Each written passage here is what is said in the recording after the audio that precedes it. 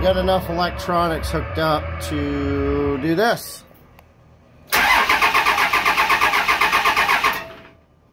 course, I have to bleed it and hook up the heater grid, and maybe it'll start, but progress.